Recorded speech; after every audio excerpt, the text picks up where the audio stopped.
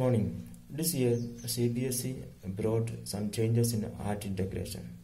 Up to 8th standard, students can do art integration in group or they can integrate all the subject in one PPT or that that that uh, is enough but uh, 9th standard and 10th standard for each subject each and each student want to do their art integrated project and we have to uh, pair uh, you know another state.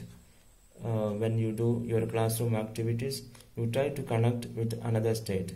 We got odisha this time and we have to connect um, our classroom activities with culture and uh, tourism uh, food habit lifestyle of odisha.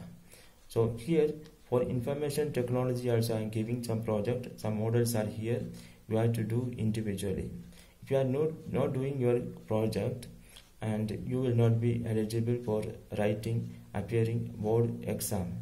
So this is very important and you all have to do that. And i recommend you to do in a single slide and save as in jpg format.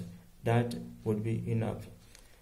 Uh, but uh, if, if your project are um, you know if you have uh, two or three pages you can save as in ppt and you save as ppt and you can give me. And you'll be uploading your project. Make sure all are doing your project and to avoid any kind of inconvenience. And thank you. Yeah uh, for 10 standard i am giving uh, to make odisha calendar and with some art form like dance you can have to decorate your calendar. Uh, some examples are here uh, by looking at these examples you can do please try to make in single page. If you cannot make multiple slides then you save as ppt if it is single slide uh, may save as a, a picture jpg uh, that is that also good enough. Uh, please ensure you are doing the project.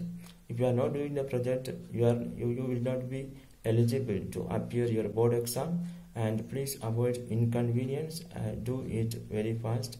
And thank you